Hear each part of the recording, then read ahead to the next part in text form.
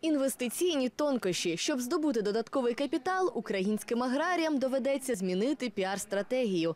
Раніше, щоб залучити інвесторів, достатньо було яскраво та переконливо змалювати перспективи компанії. Після кризи усіх цікавлять конкретні досягнення.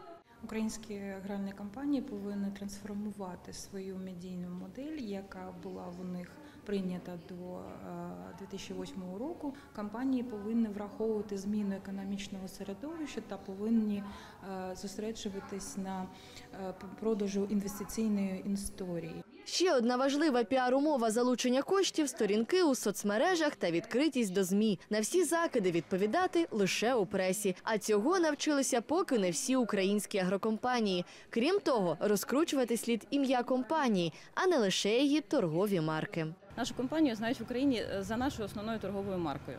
От е, і ми е, зіштовхнулися з такою проблемою, що марку знають, а яка компанія виробник абсолютно ніхто в Україні не знав. Ми з'ясували, що треба дуже дуже ретельно проводити цю політику, дуже ретельно і постійно пояснювати, користуватися будь-яким інформаційним приводом, щоб повідомляти пресі про те, що ми робимо, Холдинг із людським обличчям ще один тренд у медійних стратегіях, кажуть експерти. Мовляв, інвестор найімовірніше довірить свої кошти компанії, яку очолює харизматичний лідер. Звертають увагу і на корпоративну культуру. Кадри, як відомо, вирішують все. Анастасія Іванцова, Андрій Скрагленко. Новини. Телеканал Бізнес.